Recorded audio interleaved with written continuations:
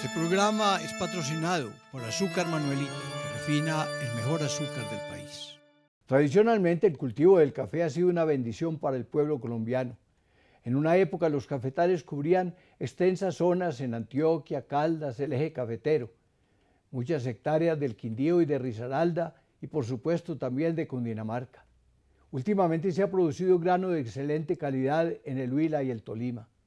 Esas regiones le aportaron riqueza al país, merecen el reconocimiento de todo, pero los cultivadores deben seguir recibiendo justa retribución de su esfuerzo en educación, en bienestar, en capacitación para la vida.